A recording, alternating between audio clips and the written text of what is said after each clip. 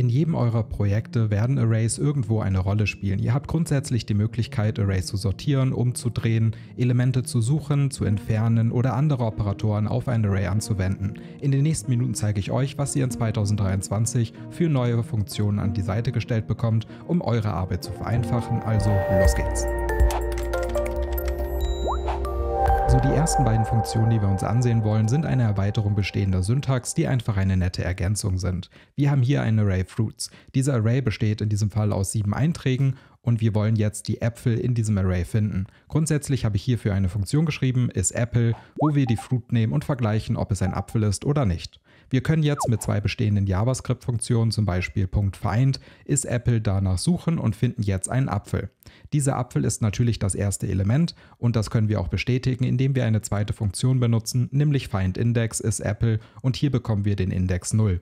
Wir finden also das erste Element, weil wir mit diesen beiden Funktionen von rechts nach links beginnen, unseren Array zu durchsuchen. JavaScript hat das jetzt aber erweitert und in ECMA-Script 2023 können wir jetzt weitere Funktionen verwenden und die gucken wir uns jetzt mal an. Wir haben denselben Ausgangspunkt, unsere Suchfunktion ist Apple existiert weiterhin, allerdings haben wir jetzt Find Last. Ebenfalls ist Apple und wir finden jetzt auch wieder einen Apfel natürlich, allerdings dieses Mal diesen Apfel auf der Indexposition 3, was uns auch die zweite Funktion Find Last Index ist Apple ja, bestätigt, weil hier bekommen wir jetzt den Index 3 zurück. Das ist einfach eine nette Erweiterung, wenn ihr in einem Array nach bestehenden Einträgen sucht, einfach weil es so von hinten nach vorne geht, also von links nach rechts und nicht wie wir es kennen, von rechts nach links. Das war das erste Feature, gucken wir uns mal an, was es sonst noch gibt.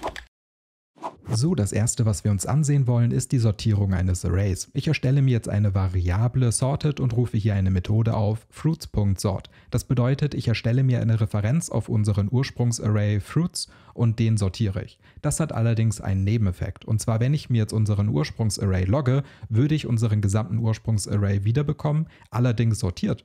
Und dasselbe natürlich auch mit meiner Referenz sorted. Also ich habe keine wirkliche Kopie als neue Variable oder ähnliches, sondern ich habe nur eine Referenz auf unseren Ursprungsarray und das ist natürlich nicht wirklich schön. Und JavaScript hilft uns hierbei mit einer neuen Methode. Wir haben nämlich jetzt die Möglichkeit, eine Variable sorted zu erstellen und mit der Methode toSorted eine wirkliche Kopie, also einen Klon unseres Ursprungsarray zu erstellen und nicht nur eine Referenz. Das bedeutet, wenn wir toSorted benutzen, bleibt unser Ursprungsarray bestehen und wird nicht modifiziert, unser Sorted Array allerdings jetzt schon. Was heißt, wir haben einen sortierten Array, ohne unseren Ursprungsarray anzufassen und warum das praktisch ist, denke ich, weiß jeder, der schon einmal versucht hat, ein Array zu sortieren.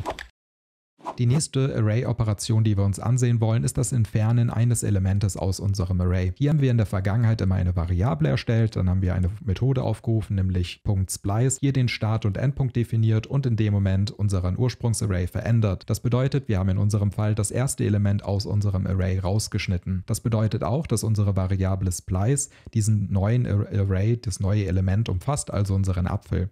Grundsätzlich können wir so den Ursprungsarray modifizieren und ein bestimmtes Element aus unserem Array schneiden. Hier gibt es jetzt eine nette Ergänzung, die eine neue Methodik hinzufügt. Auch hier haben wir die Ausgangssituation, dass wir uns eine Variable erstellen und eine neue Funktion, nämlich toSpliced, aufrufen. Auch hier definieren wir den Start- und Endpunkt. Allerdings hat diese Methode eine komplett andere Aufgabe als Splice, weil wir verändern unseren Ursprungsarray nicht. Ihr seht, er ist komplett gleich geblieben. Allerdings haben wir jetzt einen neuen Array, der aus allem besteht, abgenommen unserem ausgeschnittenen Element. Und das ist eine sehr praktische Erweiterung, finde ich, weil diesen Use Case hatte ich schon in diversen Anforderungen, dass ich nur ein Element entfernen wollte, aber mein Ursprungsarray gar nicht anpassen mochte. In diesem Moment sehr praktische Erweiterung und ich freue mich, dass wir das in Zukunft nutzen können.